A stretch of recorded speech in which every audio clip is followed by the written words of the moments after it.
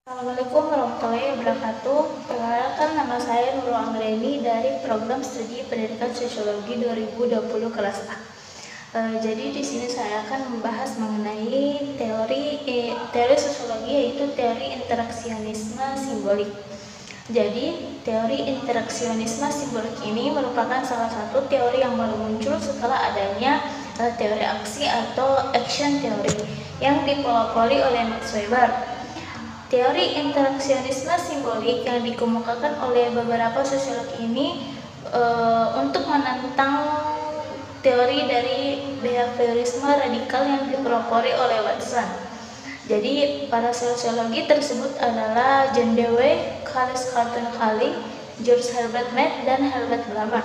Secara mendalam teori ini dikemukakan oleh George Herbert Mead, sedangkan Blumer yang lahir pada tanggal 7 Maret 1900 eh, sangat tertarik dan kritis meneliti mengenai eh, interaksionisme simbolik berdasarkan pemikiran dari para seniornya. Eh, karakter dasar interaksionisme simbolik adalah hubungan yang terjadi secara alami antar manusia dalam masyarakat dan masyarakat dengan individu Seresa 2008 berpendapat bahwa interaksionisme antar individu berkembang melalui simbol-simbol yang mereka ciptakan bersama. Interaksionisme simbolik ini dilakukan secara sadar menggunakan gerak tubuh yaitu suara atau vokal, gerakan isyarat atau gerakan fisik, dan ekspresi tubuh. E, kemudian ha, e, semua itu mengandung arti atau makna. Bentuk paling sederhana dan pokok dalam komunikasi interaksionisme simbolik adalah menggunakan isyarat karena manusia mampu menjadi objek untuk dirinya sendiri dan melihat tindakan-tindakannya seperti orang lain melihat tindakannya. Dalam komunikasi, manusia juga menggunakan kata-kata atau suara yang mengandung arti dan dipahami bersama dalam masyarakat itu. Komunikasi menggunakan kata-kata suara merupakan komunikasi standar dalam relasi dengan sesama. Landasan berpikir atau asumsi dasar dari teori interaksionisme simbolik adalah interaksi berlangsung di antara sebagai berbagai pemikiran dan makna yang menjadi karakter masyarakat.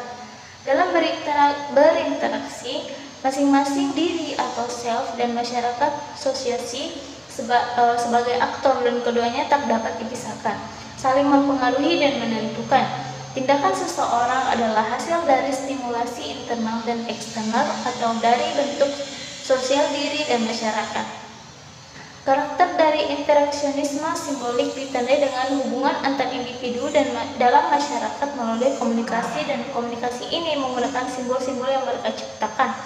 Secara implisit, interaksionisme simbolik didefinisikan melalui e, gerakan tubuh karena dalam gerakan tubuh akan terlihat seperti suara atau vokal, gerakan fisik atau isyarat dan ekspresi tubuh yang seluruhnya mengandung makna.